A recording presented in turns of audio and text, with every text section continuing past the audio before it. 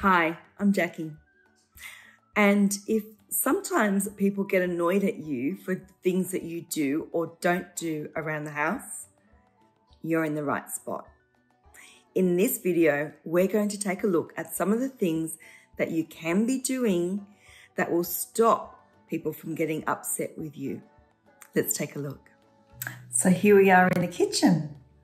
Let's see what can annoy people in the kitchen. Now, can you spot some things in the kitchen that may make people a little unhappy?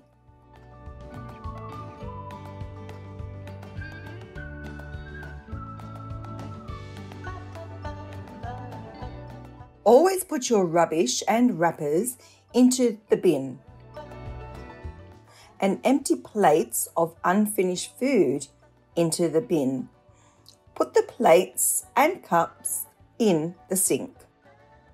When you have had water from the water container in the fridge, always fill up the container with water from the tap and place it back into the fridge, ready for the next person who would like a glass of water.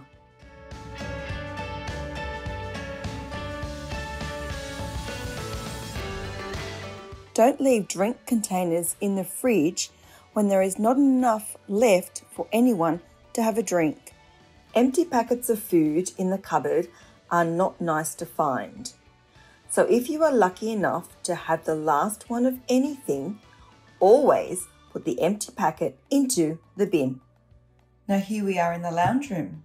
I wonder what things can make people unhappy in the lounge room. If you have been eating and drinking in the lounge room, always clean your mess. Take them to the kitchen, put them in the sink or the bin. Any clothes or shoes that have been in the lounge room should also be taken away and put into your bedroom. Hogging the TV remote doesn't create a happy home. It's always a much better idea to share the remote or leave it somewhere where anyone can pick it up. Now I have two more general tips for you to help you create a happy home. And they are, when you have been in a room and have had lights on, always turn the lights off as you're leaving the room.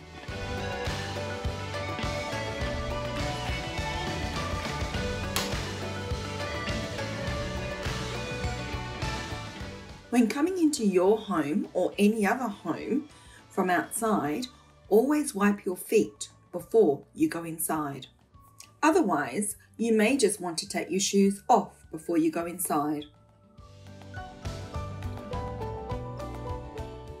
There shouldn't be a pile of shoes at the door.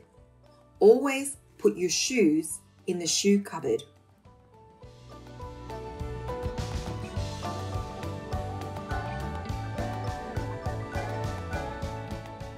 Now, I hope in this video you've learnt some things to be doing to keep you out of trouble in the home.